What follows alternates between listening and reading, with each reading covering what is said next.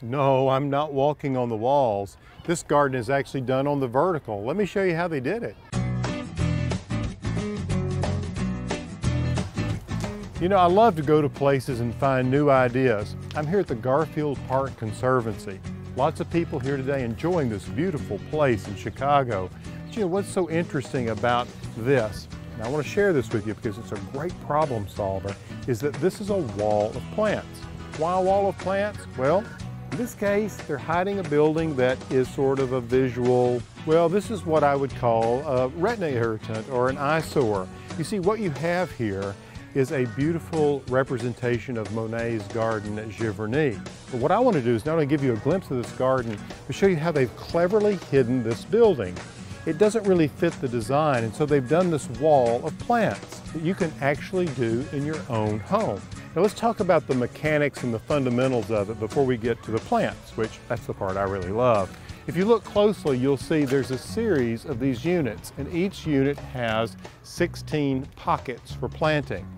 These extend about 10 inches out from the wall, and there's a drip line that runs across the top here, and here, and here, and here. And there's a slow drip of water and fertilizer that feed these plants. They're packed in with a potting soil, one blended for container gardening, and then there's a filter fabric or landscape fabric that helps hold those into place. This is a south-facing wall so they get plenty of light, which will dictate the type of plants that you choose to plant here. It's a living wall, and what they've used here to enliven this wall are these beautiful pink dragon wing begonias and this carex called Silver Curls. And then over here is this lovely Gaura with its ethereal pink blooms, and then even vegetables growing here.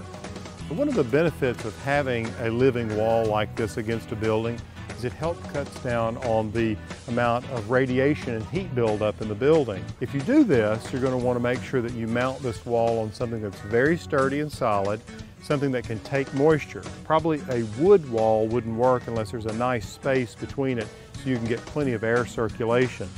If you don't have a lot of space, gardening on the vertical like this, it's the deal. Give it a try. Hey, if you've constructed a vertical garden like this or planning to, I'd love to hear about it, so let me know. Tell your friends about this and subscribe to eHow Home.